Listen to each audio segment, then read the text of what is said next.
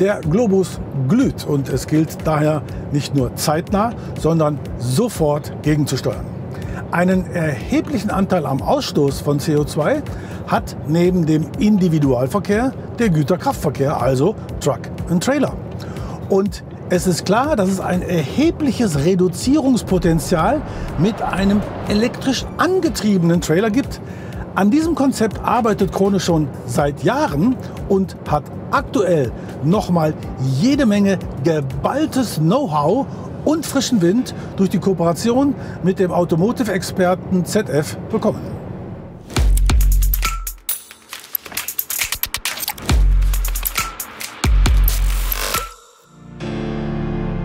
Und auch das elektrifizierte Trailersystem von ZF verwandelt dank seiner 210 kW starken elektrischen Antriebsachse jedes dieselgetriebene Gespann in einen Hybriden. Und reüssiert mit einer kleinen Batterie, denn der Fokus liegt auf Rekuperation. Und allein dadurch, allein durch Rekuperation werden bis zu 16 Prozent Diesel eingespart. Und dieser Wert kann mittels der Plug-in-Funktion je nach gewählter Batteriegröße bis auf 40 Prozent erhöht werden. Das Thema elektrische Antriebe als Gesamtsystemlösung steht bei ZF seit langem ganz oben auf der Agenda. Und somit steht auch für den neu entwickelten elektrifizierten Auflieger von Anbeginn an eine höchst zuverlässige industrialisierte Lösung zur Verfügung, die neben dem CO2-Einsparpotenzial natürlich auch durch mehr Traktion und eine bessere Beschleunigung für mehr Sicherheit sorgt.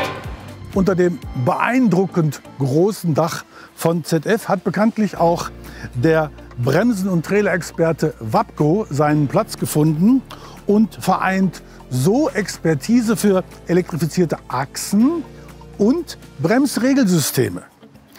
Denn im Gegensatz zur Sensierung des herkömmlichen, traditionellen Königszapfens arbeitet ZF mit Signalen aus dem Bremssystem und konstruiert so quasi einen virtuellen Königszapfen, sodass der Auflieger stets weiß, wie er zu agieren hat und so verhindert wird, dass die Zugmaschine zur Schubmaschine wird.